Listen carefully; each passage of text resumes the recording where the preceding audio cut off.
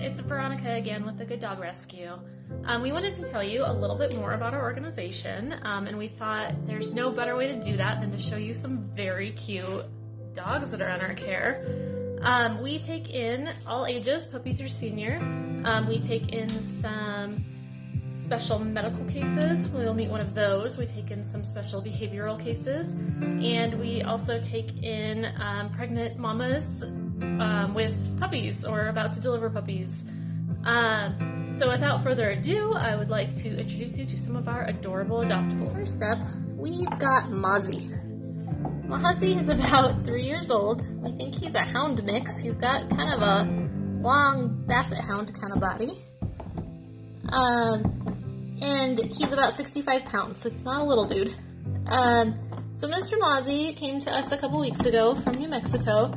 We're not really sure what his history is, but he's a little bit scared of everything. Um, he's scared to go outside the house. He is afraid of cars, but he does love to go for car rides, um, ironically. Um, he is still working on meeting dogs. We don't think that he has met them in his past, and so he wags his tail and seems like he wants to meet them, and then when they get close, he gets scared. So we're working on it. It's getting better. Um, so basically, he is looking for a quiet home that will give him lots of love and lots of patience and kind of teach him that the world isn't such a scary place. And if you let him sleep on your bed, he would love that even more. So check out Mozzie, and let's move on to the next dog. Come here, Chloe. There's a smiley puppy. There she. Hello, my name is Nellie and I'm a foster with the Good Dog Rescue.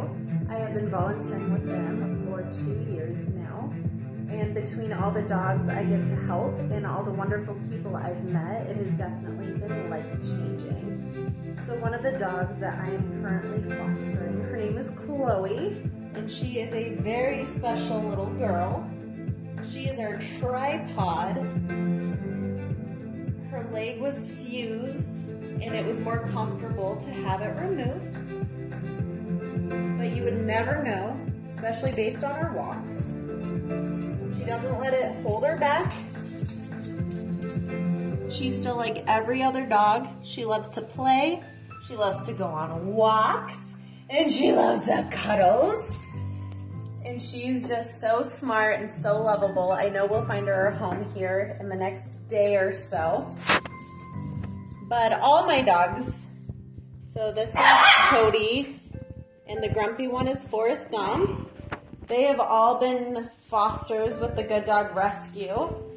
I chose to keep Cody and Gump because I loved them. I have not kept every dog I fostered, thank goodness. There's a lot of dogs like Chloe who I've, with the help of the rescue, managed to find amazing homes for.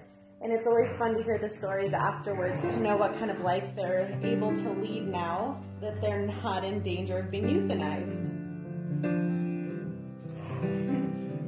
Hi, Chloe.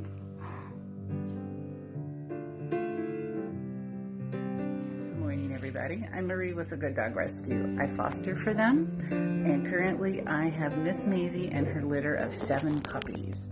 And now what I will do is let you see what it's like in the mornings with a litter of puppies. They're about six weeks old, and they are very rambunctious, and this is why you see Mama hiding somewhere else. Here we have Miss Maisie having her breakfast after she's fed her kids. Miss Maisie looks to be a cross between a red heeler and a corgi, is what we can figure so far.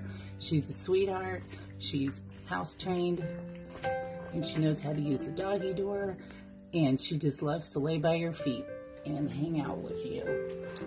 These are her children. This currently, well, it was the girl basket until Bootsy Collins jumped in. These are all the babies. That's Ginger over there by herself. And then this is Curly Jr. He's the biggest puppy. Looks like a little hound mix. This would be Bart. This would be his close brother Radar.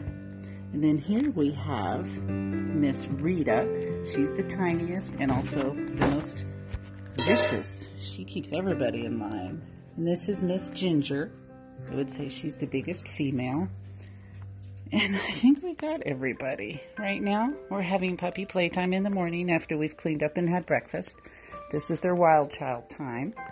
And once they wear themselves out, they go down for a little nap. And then we start all over again in a few hours.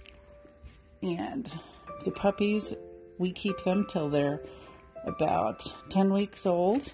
We get them up to date on their shots as much as possible. We spay or neuter them. And as soon as that is done, they are ready to go up for adoption. So just watch. These little puppies will be coming to you pretty soon. And so will Mama. Bye, everybody. So you can keep chewing on me. Yes, you are a human chew toy when you have puppies. But that's okay because they're adorable.